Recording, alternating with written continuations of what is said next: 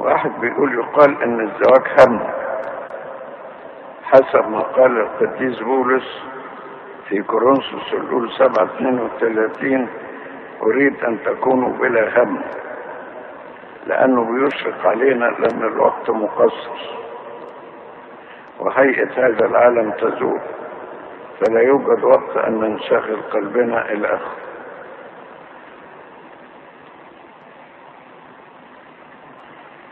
فلماذا ربنا وضع الزواج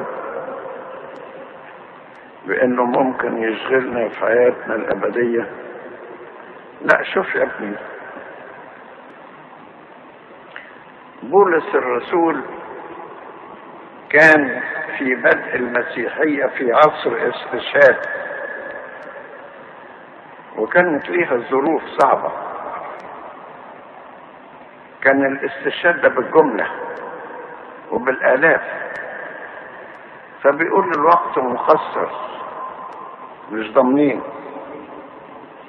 أما كلمة بلا هم مش مقصود بها الهم من الهموم لا. مقصود بها الاهتمام.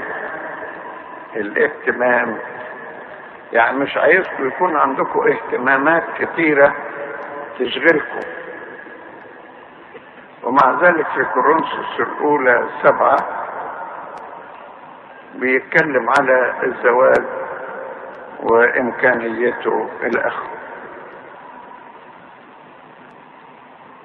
فإذا كنت أنت تريد أن تتفرغ لربنا وتعطي كل اهتمامك لربنا دي حاجة. غير إنسان عادي في الحياة يهمه أن تكون له أسرة ويعيش في سلام وهدوء وتلاميذ المسيح كان فيهم المتزوج زي بطرس وكان فيهم البتول مثل يوحنا وفيما بعد زي بولس والمسيح على جبل التجلي كان يحيطه موسى اللي اتجوز أكتر من مرة وإيليا اللي ما اتجوزش قبل كده. وحوالين الصليب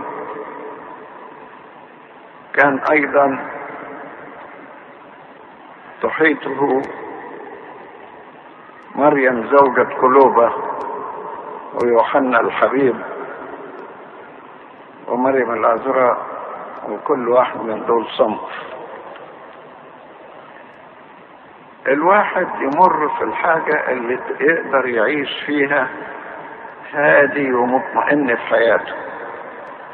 يعني ما يخشش في السكة هو مش قدها فما يناسبه ربنا يرضى عليه. ربنا لا يقول لك كن بتولا أو كن متزوجا. لكن ربنا عايزك تبقى سعيد ونقي القلب. فالسكة اللي توصلك للسعادة ونقاوة القلب أمشي فيها